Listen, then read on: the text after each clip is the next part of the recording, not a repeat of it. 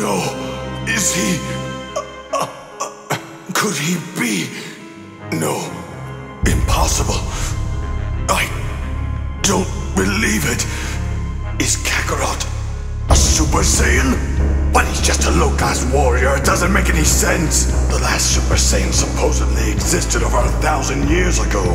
But that was nothing more than a legend. I never actually believed it to be true.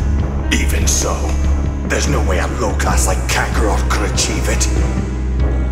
According to legend, the last Super Saiyan could only maintain his status in the transformed state.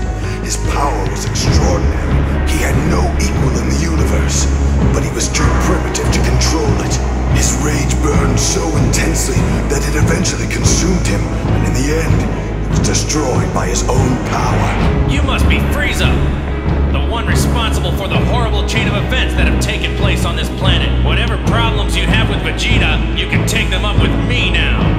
Kakarot's different than before. Maybe his last battle pushed him over the edge. Maybe he's done it at last. A Super Saiyan!